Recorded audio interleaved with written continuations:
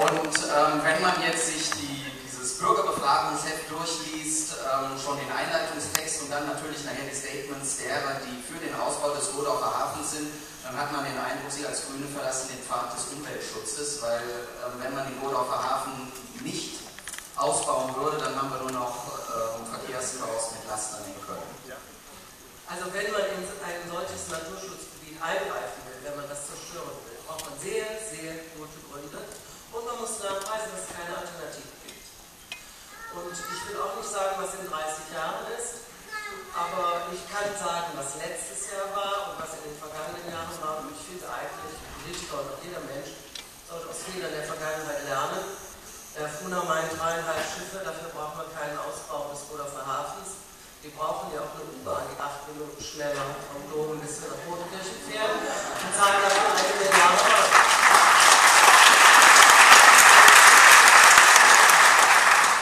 Ich bin immer skeptisch, was Prognosen angeht. Alle Prognosen, ob es den Strom oder die Wassermenge oder den Verbrauch angelangt hat, haben sich immer als zu hoch gegriffen dargestellt. Also wir dürfen durchaus unterstellen, vor allen bei dem demografischen Wandel, also sinkender, tendenziell sinkender Bevölkerungszahl, wie sie in China, ähm, dass der Güterverkehr nicht in diesem Maße zunimmt, wie er zunimmt. Und jetzt habe ich noch mal was, wer glaubt, die Kölner Autobahn wird zu entlasten durch ein Hafenbecken in Bodau, der vergisst ja, dass die meisten Schiffe gar nicht nach, äh, dass die meisten LKWs gar nicht nach Köln wollen, sondern der größte Anteil ob sie zwei Drittel oder vier Fünftel sind, das kann ich nicht sagen, weil die Zahlen argumentieren, ist Transitverkehr. Und es gibt ein Land in der Welt, das es viel besser macht, nämlich die kleine Schweiz. Die kleine Schweiz sagt, jeder Cent Maut fließt in den Schienenverkehr. Und der Schienenverkehr kann Transitaufkommen wesentlich besser verteilen als äh, Schiffsverkehr. Er ist zuverlässiger, er ist nicht abhängig vom Hochwasser. Und, was wir ja in letzter Zeit erleben, immer mehr von Niedrigwasser und wir sind äh, besser bedient, das, was der Bruder gerade auch sagte, die regionale Verkehrsterminal in, äh, im Norden auszubauen. Übrigens ohne, dass da wesentlich mehr Haftflächen erweitert werden, sondern nur effizienter genutzt werden. Vielen Dank, Frau Moritz.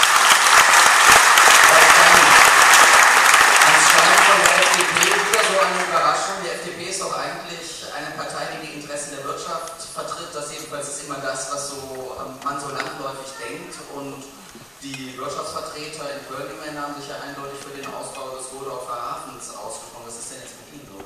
Die FDP in Köln ist eine Partei, die immer für nachhaltige und wirtschaftliche Lösungen eintritt. Und deshalb sind wir seit 20 Jahren gegen den Ausbau des Rodorfer Hafens.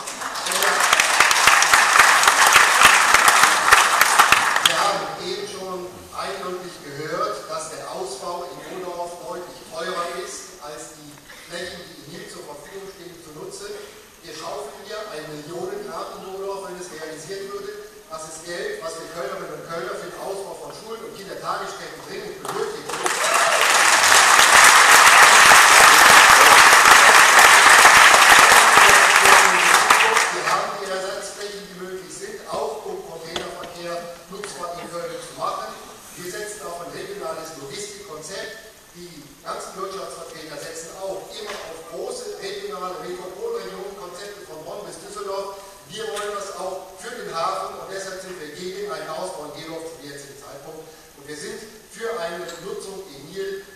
alle Kölner und Kölner der beste Weg, der günstigere Weg, über die Investition zu kommen.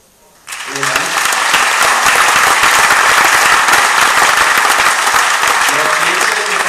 Ähm, Herr Detjen, es wird ja vor allen Dingen von den Gewerkschaften und von der SPD stark behauptet, der Aufbau des Rudolfer Hafens äh, rettet Arbeitsplätze. Sind die Linken plötzlich gegen Arbeitsplätze? Nein, wir sind für die Arbeitsplätze, deswegen äh, machen wir jetzt auch mit bei dem Bündnis in Rudolf sollen 30 Arbeitsplätze geschaffen werden und gleichzeitig soll der Deutsche Hafen geschlossen werden, das sind 300 Arbeitsplätze. Wenn ich das also entsprechend addiere oder subtrahiere, komme ich auf minus 250 Arbeitsplätze. Deswegen unterstützen wir dieses Bündnis. Lassen Sie noch einen weiteren Gesichtspunkt, der mir wichtig ist, äh, entwickeln.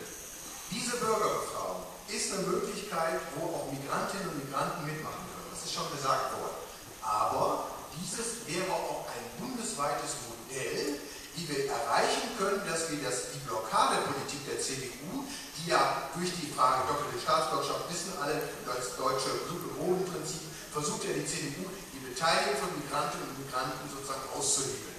Wir haben jetzt einen Weg gefunden, der ist zwar formalrechtlich sozusagen nicht ein Bürgerentscheid, sondern eine Befragung, aber wir haben einen Weg gefunden, wie dies jetzt möglich ist. Deswegen mein Appell, beteiligen sich alle und deswegen werden wir auch gerade bei den Migranten mobilisieren und sagen, das wäre ein Weg, wie man insgesamt dieses Problem lösen kann.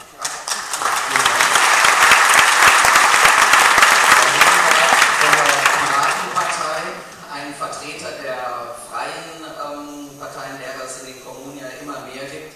Ähm, warum ähm, interessiert Sie dieses Thema Burdorfer Hafen? Das ist ja schließlich ein, man könnte auch sagen, erstmal ein Thema, das vor allen Dingen die ähm, äh, Südstadtbewohner interessieren soll. Naja, am 10. Juni, das wissen wir alle, da geht es nicht nur um.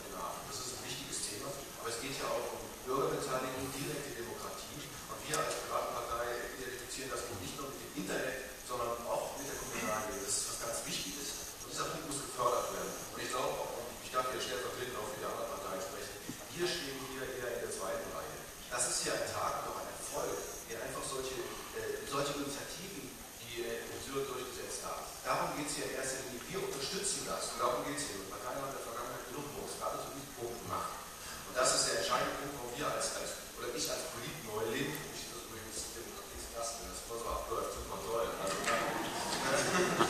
aber das ist der Grund, warum wir uns beteiligen. Direkte Demokratie, Bürgerbeteiligung, das nicht nur im Internet, wo wir das schon praktizieren, sondern auch auf kommunaler Ebene und darüber hinaus. Deswegen ist unsere Unterstützung gerade auch mit unserer Netzgemeinschaft vorhanden. Danke auch für die Frage.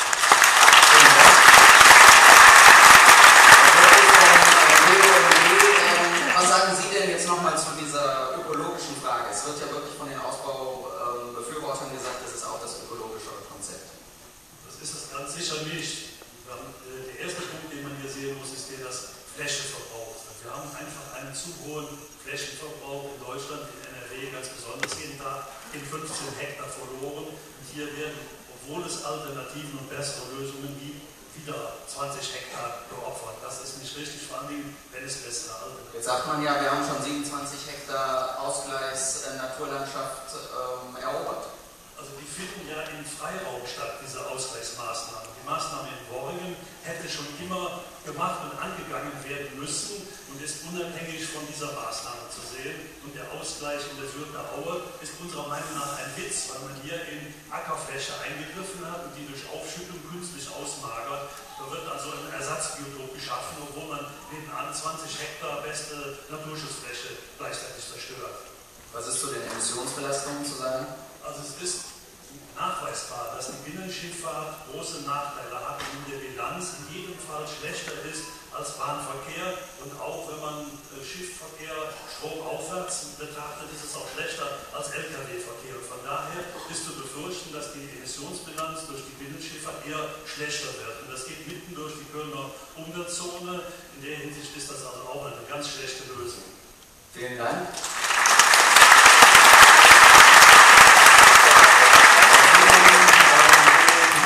Achso, Entschuldigung, Herr Klein. Ich hatte einen anderen Namen. Von NABU? Ach, Sie sind die von den Wo ist denn der Name? Herr Klein von den Freien Wählern. Wunderbar, Entschuldigung, das, ähm, ich, ich habe Sie, ich kenne Sie noch nicht. Was ist Grund, sich hier einzusetzen? Unser besonderer Grund ist, dass wir zum einen wollen, dass die Bürger sich beteiligen. Wir sehen ja auch, dass es natürlich effektive Kontrolle ist, dass die Zahlen, also einmal nach den Bürgern befragt werden, äh, überprüft werden. Und wir sind halt eine, eine effektive Verwendung der öffentlichen Gelder. Es kann also nicht sein, dass eine Stadt von so vielen Stellen Geld fehlt für das Minimum, ja, wo also die Vereine drei Euro bezahlen müssen für die Hallennutzung, wo diskutiert wird, ob die Kinder Geld bezahlen müssen, wenn sie die Toiletten der Schule benutzen, dass da so viel Geld in der Zukunft rauskommt.